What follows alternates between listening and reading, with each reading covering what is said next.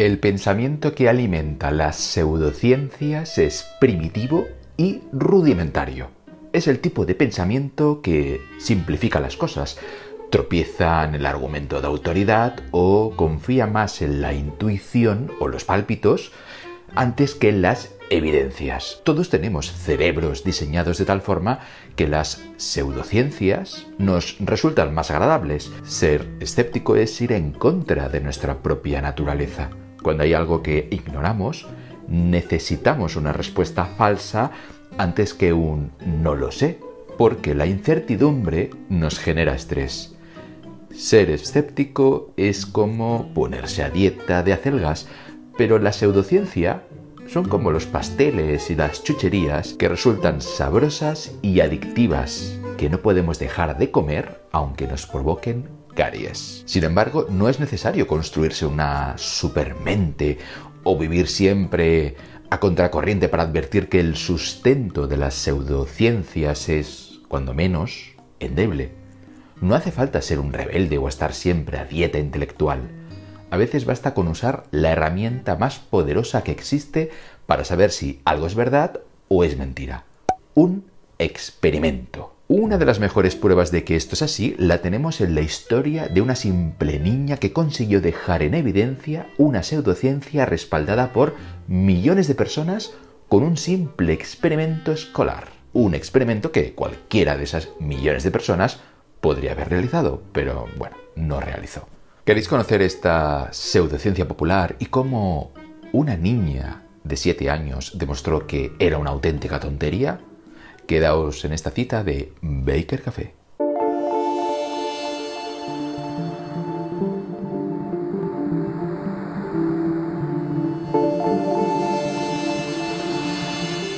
surround all living things and that the human energy field goes beyond skin boundaries. That the healthy human energy field is El toque terapéutico es una de las prácticas holísticas más comunes en la enfermería, sí, en la enfermería. A pesar de que, bueno, como veis, aquí hay un tufo de misticismo y curandería y un poco de magia que tira para atrás. Pero es muy popular, por alguna razón es muy popular. I assess the energy field through an awareness of differences in sensory cues on the palms of my hands. I may sense areas of warmth or coolness, or heaviness or tingling, or some other sensation. En el fondo es, bueno, como creer en Papá Noel, ¿no? Que cree mucha gente en Papá Noel, pero bueno, no es muy cierto, ¿no? Papá Noel no es muy de verdad. ¿O sí? Bueno, no sé. La cuestión es que esto se enseña en muchos centros en más de 70 países del mundo y también en muchas escuelas universitarias de enfermería. Lo dicho, que esto es muy mágico, muy de chamán, pero bueno, tiene mucho, mucho éxito en, en, muchos científicos, pero sobre todo mucho éxito en el ámbito de la enfermería. Las asociaciones estadounidenses de enfermería más importantes lo promueven. Su inventora asegura haber formado a decenas de miles de terapeutas durante décadas. Se han publicado al menos 250 libros o disertaciones en cuyo título, palabra clave o índice se incluyen las palabras toque holístico. Cualquier persona desinformada entonces podría plantearse que el toque terapéutico debe de tener algo de verdad, ¿no? Pero lo cierto es que no lo tiene. Es más, lo cierto es que sus fundamentos son tan ridículos que darían mucha risa si la práctica no estuviera tan enquistada en la sociedad. La descubridora del toque terapéutico fue Dolores Krieger, una profesora de enfermería de la Universidad de Nueva York a principios de la década de 1970, con la colaboración de Dora Kunz, una popular clarividente y futura presidenta de la Sociedad Teosófica de Estados Unidos. Sí, una especie de organización místico-religiosa fundada en 1875 por la renombrada parapsicóloga Elena Petrovna Blavatsky. La propia Krieger define así el toque terapéutico en uno de sus libros. El toque terapéutico deriva, pero no es lo mismo que el antiguo arte de la imposición de manos. El toque terapéutico no se basa en ninguna religión, es un acto consciente e intencional,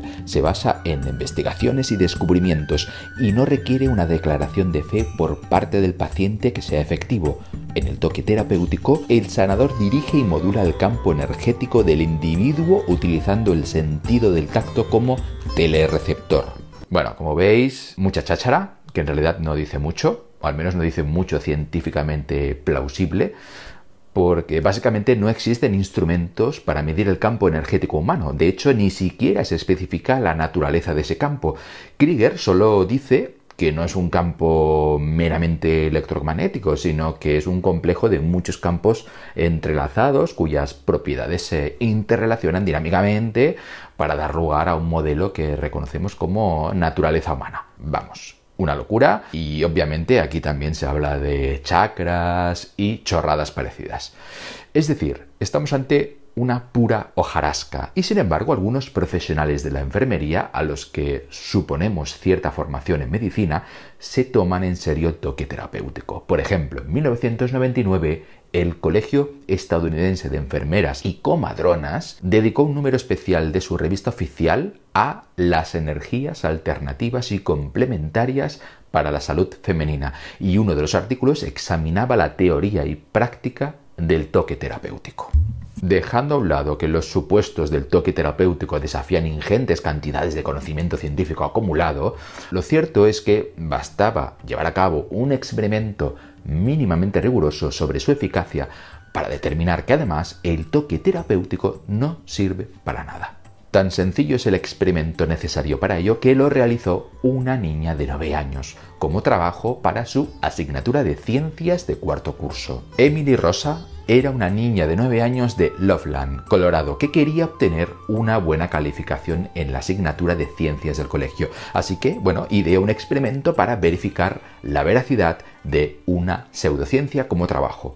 El tratamiento de medicina alternativa que escogió someter a examen fue precisamente el toque terapéutico, porque Emily entendía que tenía poco sentido que la gente pudiera curarse simplemente porque alguien moviera sus manos rítmicamente por encima del cuerpo del paciente a una distancia de entre 5 y 15 centímetros con el objetivo de reequilibrar el campo magnético humano que supuestamente nos envuelve a todos. En fin, Emily entendía que aceptar algo así suponía reescribir una buena cantidad de páginas de su libro de ciencias, así que creyó oportuno comprobar si realmente el toque terapéutico podría ser una revolución científica que acabara por otorgarle el premio Nobel a su descubridora. El experimento llevado a cabo por Emily acabó siendo portada en el New York Times del 1 de abril de 1998. Pero ¿qué hizo exactamente Emily? La descubridora del toque terapéutico, bueno, era una niña, como os he dicho antes, muy pequeña, como esta de aquí. De hecho, esta de aquí se parece mucho a mí porque, bueno, estoy utilizando el ejemplo de la niña en el fondo, bueno, para contar algo que me ha pasado a mí o que yo he pensado o que yo he leído. Bueno, es un poco perturbador. En realidad la niña no tenía 4 o 5 años como esta niña de aquí. Bueno, en realidad esta tiene como 2, ¿no? Bueno, en cualquier caso, la niña tenía 9 años, así que quitemos este filtro. Hola, ¿qué tal? Soy Emily lo que hice fue un experimento simple para comprobar si los practicantes del toque terapéutico sienten realmente un campo humano de energía. Tal y como dicen, la terapeuta y yo estábamos sentadas en una mesa, una frente a la otra, separadas por una pantalla opaca en cuya base se habían recortado dos agujeros. La terapeuta colocaba en ellos las manos cubiertas por una toalla. Antes de cada serie de pruebas se le daba un tiempo para que se concentrara e hiciera las preparaciones mentales que juzgara necesarias. Entonces yo lanzaba una moneda al aire y de acuerdo con el resultado situaba su mano derecha o izquierda a unos 10 centímetros por encima de una mano de la terapeuta. Entonces le preguntaba qué mano estaba más cerca de la suya. La terapeuta entonces disponía del tiempo que quisiera para decidir. Bueno, ya os podéis imaginar el resultado del experimento. De las 280 pruebas con 21 terapeutas diferentes, el 44% de las veces escogieron la opción correcta, es decir, un porcentaje ligeramente más bajo que el de la adivinación al azar. bueno.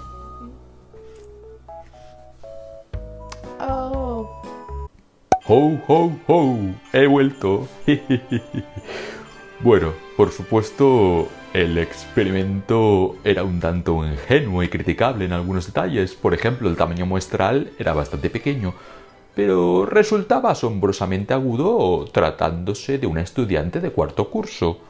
Una niña de nueve años había parecido conducirse con más sentido común que miles de practicantes adultos del toque terapéutico.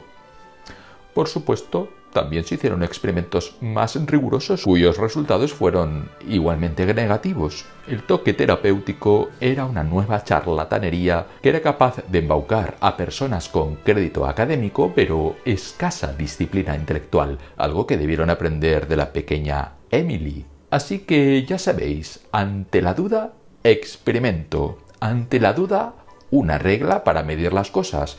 Y si lo que os suscita la duda no se puede someter a los rigores de un experimento o un instrumento de medición, entonces lo que os suscita la duda es opinable y por tanto siempre llevará dentro de sí una buena dosis de una incómoda incertidumbre que a muchos les empujarán a abrazar religiones, pseudociencias, supersticiones y, bueno, a Papá Noel. En cualquier caso, creo que Emily se ha ganado un buen regalo para estas navidades. ¡Feliz Navidad! ¡Adiós! Now I'm going to discuss how we would look for a new law. In general, we look for a new law by the following process. First, we guess it. Th- then we com- well, don't laugh. That's really true. Then we compute the consequences of the guess to see what, if this is right, if this law that we guessed is right, we see what it would imply, and then we compare those computation results to nature, or we say compare to experiment or experience, compare it directly with observation to see if it, if it works. If it disagrees with experiment, it's wrong. And that simple statement is the key to science. It doesn't make a difference how beautiful your guess is. It doesn't make a difference how smart you are who made the guess or what his name is. If it disagrees with experiment, it's wrong. That's all there is to it.